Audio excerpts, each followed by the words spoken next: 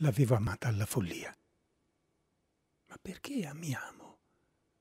Non è strano che per qualcuno esista al mondo un solo altro essere, un solo pensiero, un solo desiderio, e che sulla sua bocca ci sia un nome solo.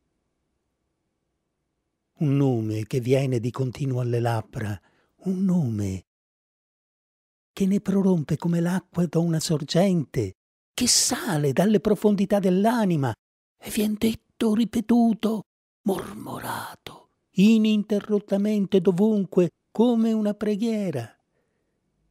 Non racconterò qui la nostra storia, sempre la stessa.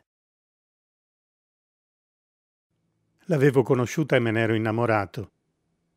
Tutto qui e avevo vissuto un anno nella sua tenerezza, tra le sue braccia, nelle sue carezze, nel suo sguardo, nelle sue vesti, nelle sue parole, avviluppato, legato, incatenato, in tutto, in tutto quanto veniva da lei. Così completamente che non sapevo più se fosse giorno o notte, se ero vivo o morto se ero sulla terra o altrove.